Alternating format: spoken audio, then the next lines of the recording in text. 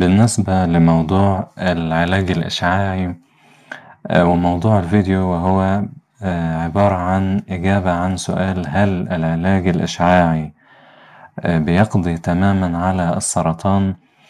الحقيقة إحنا هنحاول نقدم معلومات مهمة جدا في هذا الفيديو بخصوص العلاج الإشعاعي المستخدم في السرطان معروف طبعا في البداية إن مرض السرطان من أمراض العصر اللي تم يعني اكتشافها في العصور المتقدمة في مع تقدم وسائل الكشف والتصوير والأشعة ومع تقدم العلوم البيولوجية وعلوم التحاليل الطبية.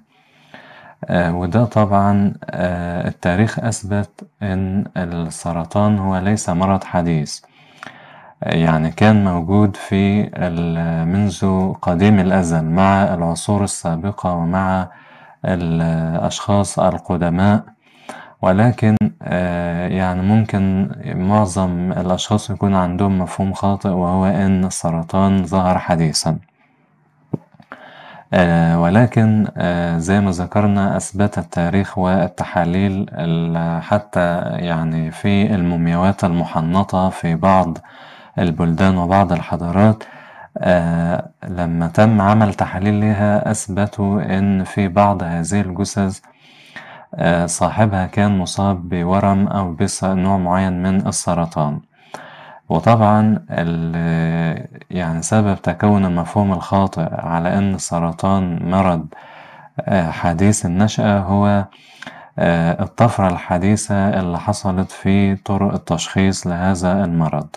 طبعا مع تقدم العلم وظهور الثورة الصناعية والكمبيوتر والروبوت والذكاء الاصطناعي وأجهزة التصوير الإشعاعي المتطورة ومع تسارع الأبحاث العلمية أصبحنا بنكتشف يعني تقريبا جميع أنواع السرطان وبنقدر نقوم بتشخيصها بدقة وتحديد مكانها وتحديد المتطلبات العلاجية اللازمة للعلاج والتغلب على هذا المرض.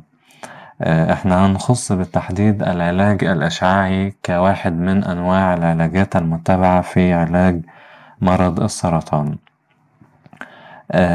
العلاج الإشعاعي بنقصد به إن هو بيتم عن طريق استخدام أشعة من الطاقة المكثفة من أجل التخلص من خلايا سرطانية معينة والحد من نمو هذه الخلايا. طبعا أشهر أنواع الأشعة المستخدمة في علاج السرطان هي أشعة إكس أو الأشعة السينية ولكن طبعا مش العادية المستخدمة في في اللي هي تصوير العظام في حالة الكسور إنما بتكون أشعة يعني مضاعفة منها وأكثر قوة منها.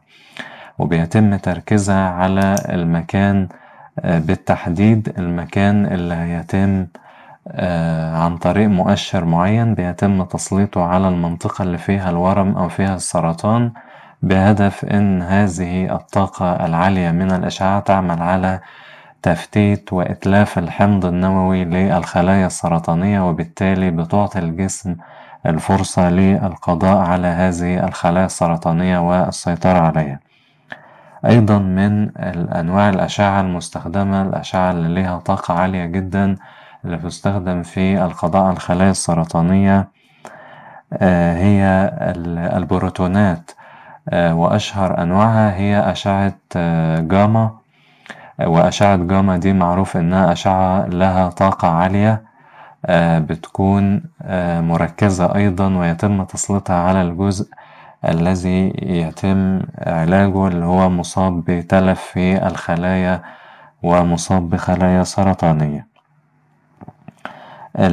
طبعا إحنا لما بنقول علاج إشعاعي بنقصد بيه حزم الأشعة الخارجية. يعني بيبقى جهاز جهاز خارجي زي جهاز الأشعة أو زي جهاز الليزر بيتم ليه مؤشر كده بيعطي علامة الزائد. بيتم تحديد المنطقة في الجسم التي سيتم تسليط هذه الأشعة المكثفة عليها. طبعا مدة معينة بتختلف حسب تقدير الطبيب وحسب طبيعة المرض وحسب المكان المصاب بالسرطان. زي ما ذكرنا إن الإشعاع نتيجة إن الأشعة بيكون ليها طاقة عالية. لأن طبعا الأشعة عبارة عن موجات كهرومغناطيسية. فطبعا الأشعة السينية بتكون عبارة عن مجموعة من الشحنات السالبة. أما أشعة البروتونات أو أشعة جاما بتكون أكثر قوة من الأشعة السينية بتعمل هذه الأشعة من خلال هذه الطاقة العالية في بعض أنواع العلاج الأشعة بيعمل على رفع درجة حرارة بنسلط شعاع من آه هذه المادة سواء الأشعة السينية أو البروتونات على الخلايا فبتعمل على رفع حرارة خلايا السرطانية وبالتالي تعمل على تفتيت المادة النووية أو بعض أنواع الأشعة لها القدرة على تغيير ترتيب آه النيوكليتيدات أو الوحدات البنائية داخل الشريط النووي في المادة الوراثية للخلايا السرطانية وبالتالي بيتم آه إفساد البرمجة الخاصة بها وبالتالي يتم القضاء عليها طيب هل العلاج الإشعاعي بيقضي على السرطان؟ آه طبعا آه للإجابة على السؤال ده هو مبدئيا العلاج الإشعاعي من طرق العلاج الناجحة إلى نسبة كبيرة جدا في علاج السرطان ومن الممكن. يعني هناك أبحاث وهناك تجارب عملية أثبتت أنه من الممكن فعلا مع الجرعات العالية من العلاج الإشعاعي ومع التشخيص المبكر لهذا النوع من السرطان أن يتم القضاء عليه باستخدام العلاج الإشعاعي. طبعا في بعض الحالات الأخرى بيتم استخدام الأشعة بصورة مخففة وليست بصورة مكثفة وده بيكون في حالة لو إحنا عاوزين أثناء العلاج بنفحص أجزاء أخرى من الجسم فبيتم المريض طبعا بيخضع لعدة جلسات أطول وبالتالي بيخضع لجرعة من الإشعاع أقل حدة من الإشعاع العالي أو المركز. طيب العلاج الإشعاعي زي ما ذكرنا بيعمل على قتل الخلايا السرطانية من خلال تدمير المادة الوراثية الخاصة بها ولكن العلاج الإشعاعي أو الإشعاع لا يقتل الخلايا فوريا في لحظتها إنما هو بيتلف التلف بيكون تلف لحظي فوري. ولكن علشان هذا التلف يسمع ويوصل لجميع الخلايا السرطانية بياخد وقت ممكن يستمر إلى يعني عدة أسابيع أو إلى شهور بعد تلقي جرعة الإشعاع. بيبدأ الخلايا السرطانية تنكمش وبيبدأ الجسم يسيطر عليها. يعني في النهاية لحد ممكن بعد عدد من الشهور وبيكون المريض انتهى من الجلسات الأشعاعية المحددة ليه بيكون خلاص تم قتل جميع الخلايا السرطانية الخبيثة في الجسم. طيب ننتقل إلى الجزء الخاص بالآثار الجانبية للعلاج الإشعاعي. العلاج الإشعاعي هو شأنه شأن أي علاج طبي آخر ليه بعض الآثار الجانبية وخاصة طبعا إحنا بنتكلم عن مرضى سرطان آه فمريض السرطان أصلا بيكون الجهاز المناعي في الجسم مجهد إلى حد كبير وجميع الطاقة في الجسم مستنزفة من هذا المرض أو من هذا الكيان الدخيل على الجسم وبالتالي الآثار الجانبية للعلاج الإشعاعي لأن يعني بنتسأل كتير جدا وناس كتير حابة تعرف آه هذا الأمر هل العلاج الإشعاعي له آثار جانبية؟ هو شأنه شأن أي علاج طبي أو أي إجراء طبي له جانب يعني سلبي أو نقدر نقول ليه بعض الأثر الجانبي. ولكن المنفعة اللي بتحصل منه وبنستفيد منه بتكون أكبر من الضرر وبالتالي بيلجأ الطبيب لهذا النوع من العلاج. وطبعا الآثار الجانبية بتختلف من مريض لمريض ومن حالة لحالة ومن سرطان إلى سرطان. وبتختلف أيضا حسب نوع السرطان. حسب درجة انتشار السرطان حسب الوقت اللي تم تشخيص فيه السرطان هل هو وقت مبكر ولا في مراحل متأخرة. عشان كده بنأكد على ضرورة آه، سر نجاح آه، النسب العالية من الشفاء من السرطانات هو التشخيص المبكر. لأن ببساطة كل ما شخصت الحالة مبكر كل ما أنت أنقذت خلايا جسم سليمة من أن هذا الكائن أو هذا الكيان الخطير اللي سيطر عليها يدمر بهذه الخلايا فالضرر بيكون أقل. إنما لو كان في مراحل متأخرة بيكون خلاص يعني هذا السرطان استنزف جميع خلايا الجسم السليمة وطاقة الجسم كلها. فمهم جدا التشخيص المبكر ومش بس في السرطان ولكن في أي مرض بيصيب جسم الإنسان. زي ما ذكرنا الآثار الجانبية بتختلف حسب الحالة وحسب جرعة الإشعاع اللي هيتعرض ليها المريض وحسب الخلايا السرطانية هل هي موجودة آه، يعني جنب خلايا أخرى؟ هل الخلايا السليمة آه، بدأت تتأثر بالخلايا السرطانية ولا لم تتأثر بها فكل ده بيأثر على مدى نجاح العلاج الإشعاعي ومدى حدوث آثار جانبية من عدمه. كمان بنشير إلى أن الآثار الجانبية لو بدأ يظهر على المريض آثار جانبية ده طبعا بتاخد وقت يعني ممكن تظهر من خلال الأسبوع الثاني أو الثالث من بدء تلقي جرعة الإشعاع.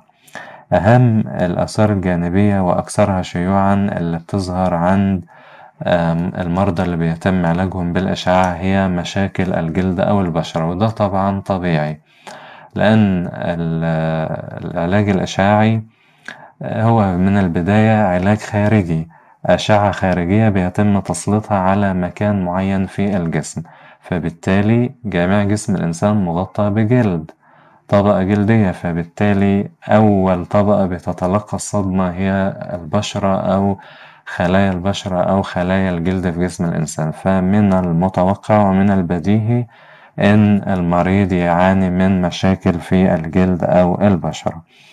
المشاكل دي طبعا بتختلف أيضا باختلاف الأشخاص وباختلاف الحالات آه، ولكن يعني ممكن تكون في صورة جفاف جفاف في المكان اللي بيتم تسليط الإشعاع فيه. ممكن بعض الحكة ممكن آه، تقشير ممكن حتى تظهر بعض التقرحات على الجلد.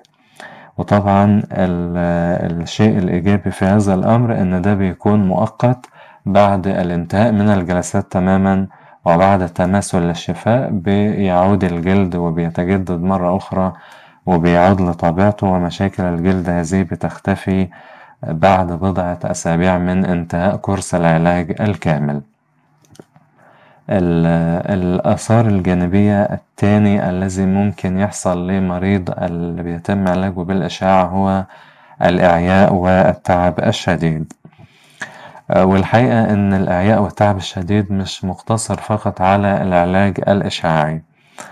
مريض السرطان شأنه شأن أي مرض بيصيب جسم الإنسان بيجهد جسم الإنسان وبيستنزف طاقة جسم الإنسان. فطبيعي جدا إن الإنسان يشعر بإعياء وتعب ولكن هذا التعب ممكن يكون أكبر ومضاعف بصورة كبيرة في حالة مريض السرطان لأن زي ما ذكرنا بتكون مرض السرطان يعني الخلايا بتكون في حالة استنزاف تام لطاقتها وبيكون طبعا هذا المرض منتشر في ممكن جزء كبير من الجسم.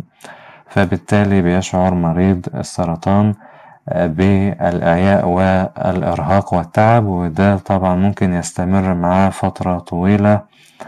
آه، وطبعا بعد توقف العلاج بيبدأ الجسم يتعافى تدريجيا أثناء فترة النقاهة. فده طبعا أمر يعني طبيعي وبديهي ولا يدعو إلى القلق. آه، في النهاية فقط يعني حابين نوضح أنواع العلاج الإشعاعي التي يتم استخدامها. أنواع العلاج الإشعاعي في علاج إشعاعي خارجي وفي علاج إشعاعي داخلي. ونقصد بخارجي أو داخلي يعني مصدر الأشعة اللي بنعالج بيها المريض. مصدر أشعة جاما أو الأشعة السينية ممكن يكون مصدر خارجي جهاز كبير خارجي بيتم تسليطه على المنطقة المصابة في جسم المريض. يعني المريض بيكون نايم على السرير وبيتم تسليط هذا الجهاز على الجزء المصاب في جسم المريض بدون ما يتم اختراق جسم المريض أو حدوث جرح في جسم المريض أو إدخال معدات داخل جسم المريض. وطبعا الجهاز ده أو هذه الآلة بتقوم بإخراج الأشعة بصورة مكثفة وده طبعا الأشعة الخارجية هي الأكثر شيوعا واستخداما في العلاج الإشعاعي لمرض السرطان. أما العلاج الإشعاعي الداخلي فبيتم بيعتمد على إدخال مادة مشعة داخل جسم الإنسان بيتم حقن مادة داخل جسم الإنسان. وهذا هذه المادة المشعة بيتم توجيهها إلى المنطقة المصابة بالسرطان. وهذه المادة بيكون لها طاقة إشعاعية عالية. بتكون هذه المادة هي مصدر الإشعاع. وطبعا لأن المواد المشعة اللي بيتم استخدامها في علاج السرطان زي اليود المشع أو زي اليورانيوم المشع بيتم استخدامه في الأبحاث النووية وفي أبحاث العلاج مرض السرطان. واليود المشع وفي حتى في ناس بتستخدم الكلور المشع وبعض العناصر الأخرى بيتم استخدامها حسب الحالة طبعا وحسب المكان اللي بيقدم هذه الخدمة. العلاج الإشعاعي الداخلي بيتم عن طريق المادة إدخالها داخل جسم الإنسان بيتم إدخالها عن طريق الحقن إما عن طريق الحقن إما عن طريق مجرى الدم أو الحقن الموضعي بسرنجات معينة وبمعدات معينة داخل النسيج المصاب بالسرطان أو إن المريض بيشرب مادة مشعة وزي أحيانا الباريوم المشع أو جرعات من اليود المشع وإن كان اليود المشع بيتم حقنه وخاصة في سرطانات الغدة الدرقية. بيتم حقنه موضعيا ولكن في مواد أخرى بيتم إعطائها زي الباريوم المشع لما بيكون السرطان مثلا في القولون أو في المعدة.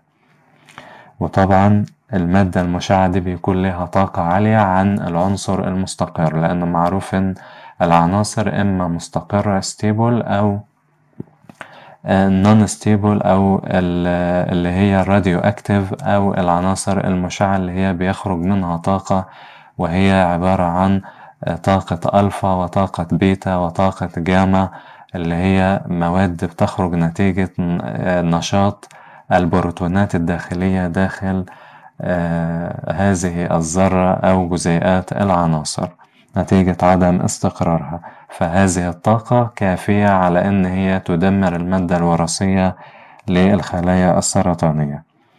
طبعا الهدف الأساسي من العلاج الإشعاعي هو السيطرة على السرطان ووقف نموه وإمكانية تدميره إن أمكن تدميره للحفاظ على المناطق المجاورة للسرطان من الانتشار ومن التأثر والإصابة بهذا المرض. ده كان المعلومات اللي حابين نوضحها لحضراتكم بخصوص هل العلاج الإشعاعي قادر على القضاء على السرطان أم لا.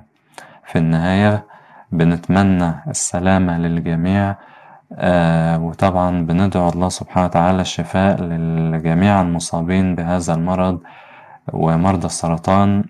يعني من المرضى اللي بيحتاجوا دعم معنوي آه أكتر من أي آه مرضى آخرين لأن طبعا الحالة النفسية هي أهم عنصر وأهم خطوة في خطوات العلاج هي الحالة النفسية للمريض. والحقيقة لجميع الأمراض وليس المرض السرطان فقط ولكن إحنا بنخص مرض السرطان لأن ليه ظروف خاصة زي ما ذكرنا وبيؤثر بصورة كبيرة على جسم الإنسان. طبعا مع يعني انتشار التلوث ومع تطور الحياة وتسارعها أصبح يمكن نقدر يعني مش هنبالغ لو قلنا كل عيلة فيها مريض سرطان. فده طبعا يعني أصبحنا البيئة المجاورة لينا وعارفين الناس اللي حوالينا في ممكن حد يكون مريض بهذا المرض.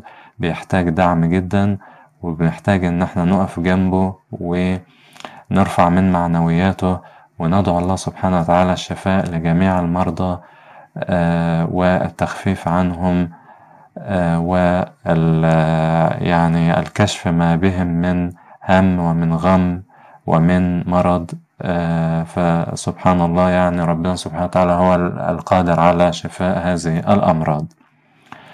بنتمنى السلامة للجميع ونلتقي بإذن الله على خير في فيديو جديد وموضوع جديد.